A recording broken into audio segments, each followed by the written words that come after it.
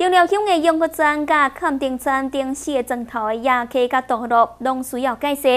伫地方乡亲的欢迎之下，南投县长林明前前往进行勘查，考量到出入的安全、甲农产品运输的方便，县长林明前指示承办人员协助处理，确保民众安全。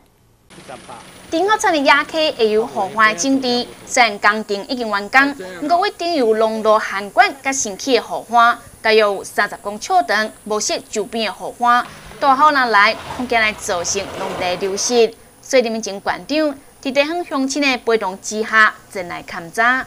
啊，中段无做吼，啊，顶工吼，这个土啊吼，会继续一直放落吼，啊，所以来看了啊，啊，这个有必要来做，啊，所以大概工程费吼。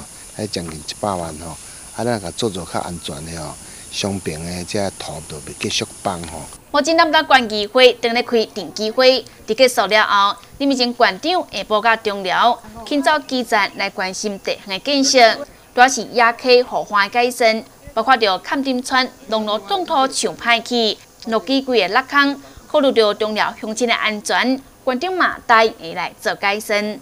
实在影弄甲足害的，啊，即个农业吼，会使你讲，拢价格吼，拢无好啦。啊，农民吼，家己要来维护嘛，无太好做安尼吼。啊，今日希望着咱林馆长吼，诶，对着地方诶热热爱好。经济也歹啦，啊，农民的收入也少啦。啊，所以咱政府吼，较安怎袂呢欠吼，嘛要欠来甲因做好吼。啊，所以吼，诶，我会请阮的。诶，咱阮的养护科吼，啊，经派人来设计，啊，设计好经甲抢修好吼，啊，互咱这农民啊进出吼较方便的。另外，伫福兴村以及和兴村部分的农路嘛严重破损，民众经过容易来造成车辆相滚以及塞车的危险。所以，县长嘛指示相关单位来到协助处理。会看的过程，多位关议员甲代表嘛正来关心，希望确保民众通行的安全。记者。行差不多。